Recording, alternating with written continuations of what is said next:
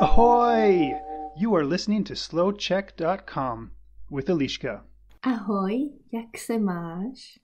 Dnešní krátká epizoda bude o Skypeu. Myslím, že dnes každý ví, co je to Skype.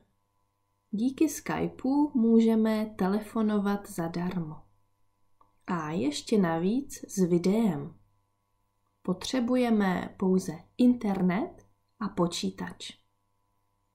K čemu je Skype dobrý? Můžeme si povídat s rodiči, když nejsme doma. Můžeme pokecat s kamarádkou. Můžeme se učit cizí jazyk, když mluvíme s rodilým mluvčím. Někdy jsou se Skypem ale problémy.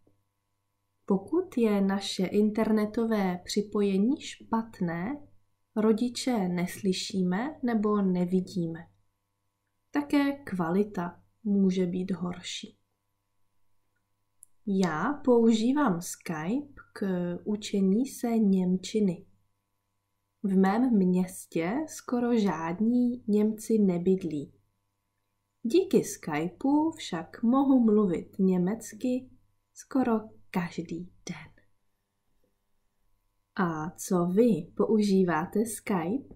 K čemu a jak často? You can find more podcasts for different levels on SlowCheck's website, Facebook page, and YouTube channel. This is slowcheck.com.